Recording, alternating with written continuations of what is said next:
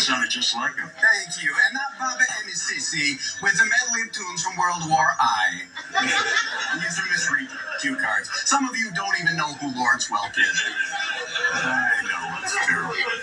No, you know, you know what, guys? I mean, I, I do take my work seriously, but I, I don't. I, I'm sitting here. I'm looking at silhouettes, and it's and it's really transforming. It's like it is like a little bit like that show. What is that show? The one you said I sh- want to be on? Oh, Walking Dead? Yeah, that's what it looks like.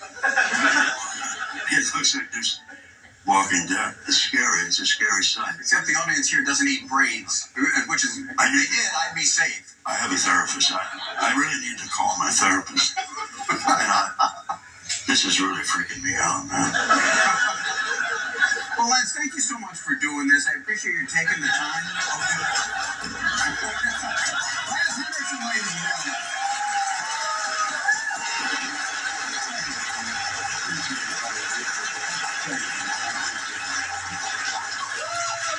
So my close personal friend Lance Henriksen here.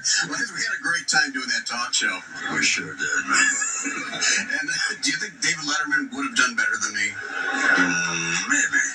Just maybe.